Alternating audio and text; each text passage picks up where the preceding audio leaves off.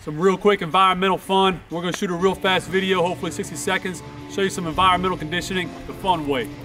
When you know you're dealing with a real country dog in a real country place. So you got a side by side, you got a golf cart, you got some other hillbilly shit, I don't know, but you need your dog to load up. So you gotta be able to tell him, up, get in the box, stay in the box, go around a little bit.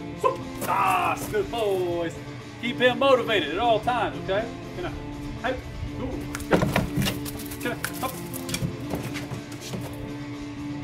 So again, conditioning, environmental exposure. Now, why do I have a tug?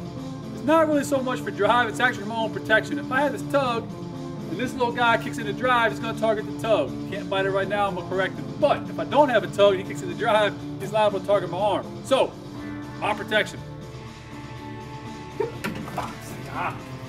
Now it's one thing to jump into the back of a side-by-side -side or onto a four-wheeler, no big deal.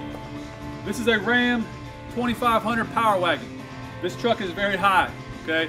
Um, is it a big deal? No, to jump over this truck. Any dog can do it. But it's in them or it's not. You'd be surprised how many dogs will not jump into a bed of a truck like this, especially from just sitting with very little drive and very little motivation. Of course, we could put somebody in a bite suit or a sleeve or some other silly thing in the back of the truck and boom, the dog does crazy things. But do it without that drive. Yeah, come on, what I'm saying?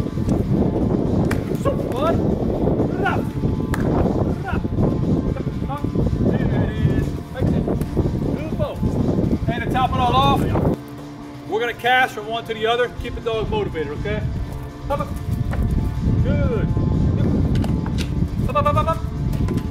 Good boy. Yep. Up, up. Bravo.